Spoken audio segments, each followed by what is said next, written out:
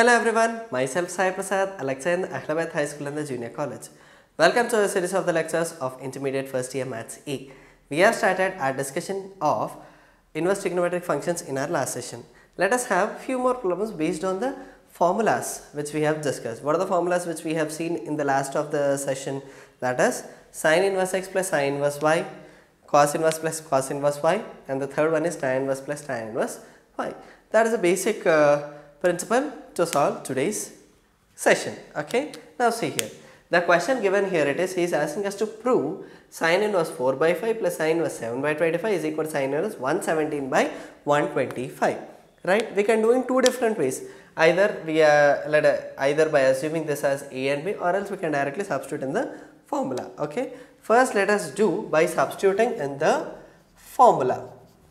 Right sine inverse x plus sine inverse y is equal to sine inverse x into 1 minus y square plus y into under root 1 minus x square.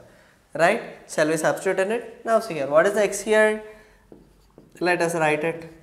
sine inverse 4 by 5 plus sine inverse 7 by 25 is equal to sine inverse x is this and y is this, isn't it? 4 by 5 into under root 1 minus 7 by 25 ka square. 49 by 625 plus y. 7 by 25 under root 1 minus x is 16 by 25 isn't it? 4 by 5 whole square is 16 by 25 isn't it? Now let us write it. Let us simplify. That's it. After simplifying we'll directly get the answer. But the simplification should be exact. Don't just write whatever you want. Is it okay? Now say here. Under root 625 minus 49 by 625 plus 7 by 25 into under root 25 minus 16 by 25 is it right? Sin inverse of 4 by 5 into under root 625 minus 49 that is nothing but 576 divided by 625 plus 7 by 25 into under 25 minus 16 is 9 by 25. That's it. Only the thing you have to remember is simplification. Is it right? Yes. 4 by 5 into square root of 576 is 24. Square root of 625 is 25. Right? Are you able to understand? Square root of 9 is 3. Square root of 25 is uh, 5. 5. Is it right? Now see here sine inverse 24 4s are 48 96. 96 divided by 25 1s is 25 5s is 125 plus 7 3s are 21 by 25 5s are 125. Now tell me directly what's LCM here? 125. If I add 96 plus 21 what is that I am going to get? Tell me. That is 6 plus 1 is 7, 9 plus 2 is 11 by 125. Are we getting the answer? Right? Is it clear? What is that we have done?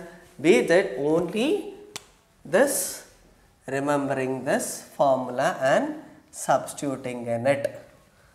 Is it clear?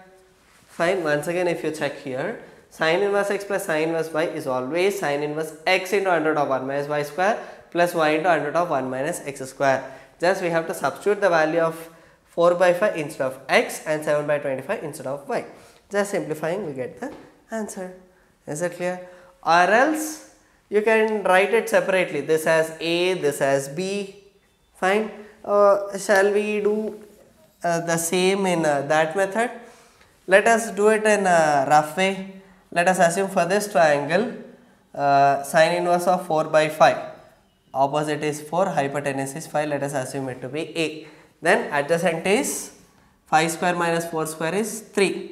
Here sine a is 4 by 5, cos a is 3 by 5. Is it right? Uh, for the second ratio for the angle B adjacent I mean opposite is 7 hypotenuse is 25 what will be adjacent 25 square is 625 minus 7 square is 49 625 minus 49 is 576. 576 root is 24. Here sine B is 7 by 25, cos B is 24 by 25. Right? Here there is sine inverse on the right hand side of a given question. Then what is that we have to do? We have to find sine of A plus B that is nothing but sine A cos B plus cos A sine B. If you assume here what is sine A 4 by 5 cos B 24 by 25 cos A 3 by 5 sine B 7 by 25. If you observe here uh, that is same as this 4 by 5 into 24 by 25 4 by 5 24 by 25 7 by 25 3 by 5 7 by 25 3 by 5 are we getting the same thing? After simplifying what did we get here? 117 by 125 this is nothing but our sine of a plus b. Therefore a plus b is sine inverse of 117 by 125 is it clear? Did you understand? Right we can do in different forms either by using the direct formula or else by simplifying each and every time using a basic conventional method. Is it clear? Shall we move on to the next problem? Let's do. Now see here, what is the question given? He is asking us to prove that tan inverse 1 by 2 plus tan inverse 1 by 5 plus tan inverse 1 by 8 is equal to pi by 4. Right? Here we have three different inverse trigonometric functions. That is, we have three different angles here. Right? Do we know the value of tan inverse 1 by 2? We don't know we don't even know 1 by 5, we don't even know 1 by 8. Yes or no? Then how to do? Shall we use the formula? Let us use the formula. What is the formula of tan? Tell me. We have the formula of tan inverse x plus tan inverse y as tan inverse. If you don't remember the formula, at least if you recall the formula of tan of a plus b. What is tan of a plus b? Tan a plus tan b by 1 minus tan a tan b. Similarly, here also x plus y by 1 minus xy. Is it clear? Did you understand? That is how we have to solve. Is it clear? Hope everyone remember this formula. Let us simplify the first two terms then let us add the third term to the answer. Okay, shall we do that? Hmm, let's do. Now tell me tan inverse 1 by 2 plus tan inverse 1 by 5. What it will become? Tan inverse 1 by 2 plus 1 by 5 divided by 1 minus 1 by 2 into 1 by 5 plus tan inverse 1 by 8 will be as it is. Did you understand? Once again see here this is tan inverse x plus tan inverse y. I have simplified I am using the formula for only first two terms. This is x and this is y.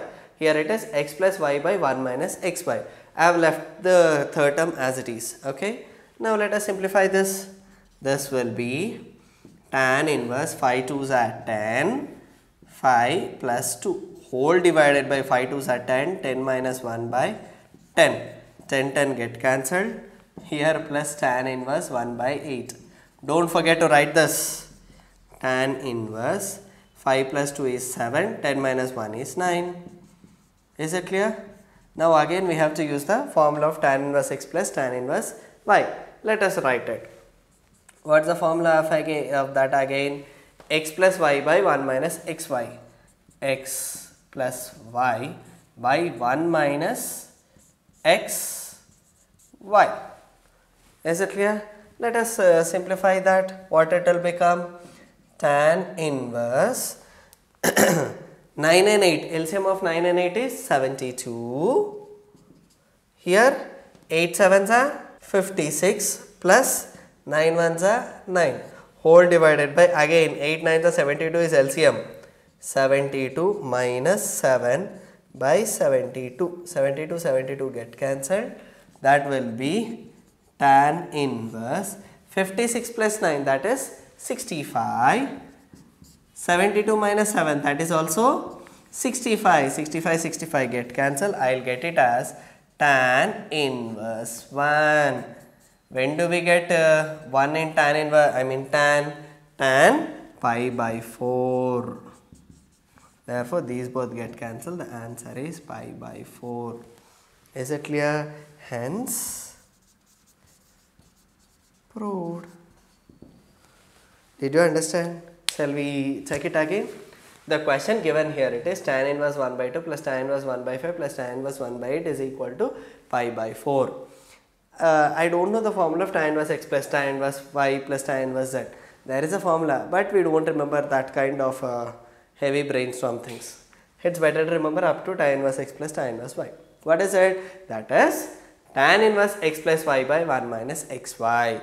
First of all, I'll apply this formula to the first two terms, then I'll get a fixed term. Then I'll apply the formula for these two terms, then I'll get it as tan inverse 1 which is nothing but pi by 4.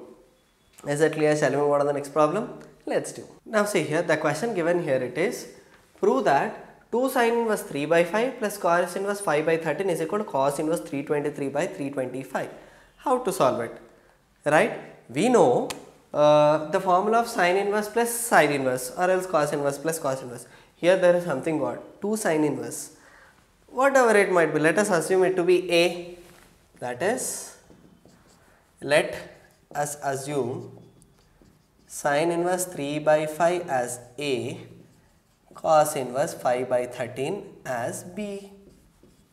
Okay, then what it will become? It will become as 2A minus B right then what is this 2a minus b how to solve it right? We will substitute the i mean we will apply cos then that will become cos 2a minus b.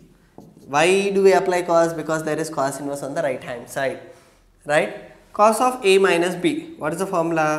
Cos a cos b plus sine a sine b. Is it right? Here it is cos 2a here it is sine 2a. What is the formula of cos 2a? Tell me. That is 1 minus 2 sine square a. You can write it anyway. You can even write uh, 2 cos square a minus 1 also. However, you have to find both sine a and cos a for this here. Here it is 2 sine a cos a into sine b. What all the values we have to find now? We have to find the value of sine a, cos b, cos a, sine b. Is it right? Uh, let us solve uh, from this okay now let us draw two triangles for angle A and one more for angle B. In angle A opposite by hypotenuse. Opposite is 3 hypotenuse is 5 right? Then what is adjacent here? 5 square minus 3 square. Hope uh, most of the numbers are repeating. Yes or no? You can remember 25 minus 9 is 16 which is 4. From here I can write sin A as 3 by 5 and cos A as 4 by 5. Isn't it? Similarly for angle B, adjacent is 5, hypotenuse is 13. Then what about the opposite? 169 minus 25 that is nothing but your 144 which is nothing but your 12. Then sin B is 12 by 13 cos b is 5 by 13. Is it clear? Let us substitute all of them here. Did you understand? The only thing, the only thing you have to remember is how to simplify, how to simplify. That's it. Clear? Now see here, 1 minus 2 sine A 3 by 5 whole square cos B 5 by 13 plus 2 sine A 3 by 5 cos A 4 by 5 sine b 12 by 13. Is it clear? Now see here 5 square is 25 25 minus 3 square is 9 9 2 size 18 by 25 into 5 by 13 plus 2 3 4 12 2 3s are 6 6 4s are 12 12 into 12 is 144 divided by 5 5s are 25 25 into 13 once again let's cross check. 2 3s are 6 6 4s are 24 24 into 12 don't uh, get confused. Is it clear? Now let us simplify. LCM is 25 into 13 that is fixed. 25 minus 18 how much is it? 2 5 7 7 5s are 35 plus 24 into 12 how much is it? 288 that is 288 divided by 25 into 13 is 325 therefore my answer is 323 divided by 325 what is this? This is the value of cos of 2a minus b. From that I'll get it as 2a minus b as cos inverse 323 by 325 that is what he asked us to prove right? Did you understand? These are different different kinds of problems in inverse trigonometric functions. Shall we move on to the next problem? Let's do. Now see here, this is one more kind of different problem. Uh, when do we get pi by 2 in our formula in inverse function that is either sine inverse x plus cos inverse x right or else tan inverse x plus cot inverse x or secant inverse x plus cosecant inverse x. If you observe here, here there is sine inverse x but there is no cos inverse x. Fine. Can we convert this 2 tan inverse 1 by 3 into cos inverse? Shall we do that? Let's try. Now see here, here let us simplify only this particular term. 2 tan inverse x uh, 1 by 3 is equal to x.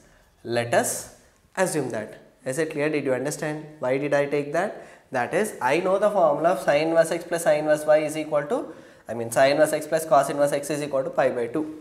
Let us check whether we can simplify that in terms of cos inverse or not. Okay, let's do now.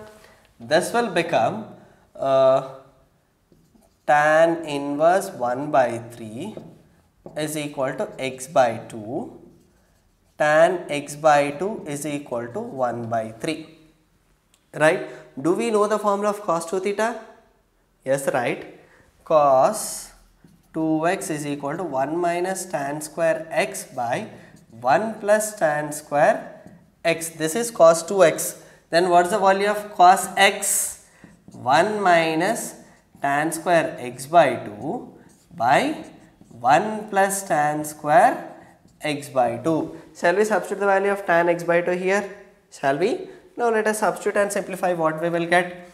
Cos x is equal to 1 minus 1 by 3 whole square by 1 plus 1 by 3 whole square that is nothing but 1 minus 1 by 9 1 plus 1 by 9 LCM is 9 in the numerator, it will become 9 minus 1.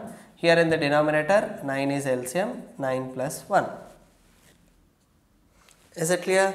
Now let us do cos x is equal to 9 minus 1 is here 9 9 get cancelled 9 minus 1 is 8 9 plus 1 is 10 is it right if you observe here we can cancel 2 4s are 2 5s are which is nothing but cos x is equal to 4 by 5.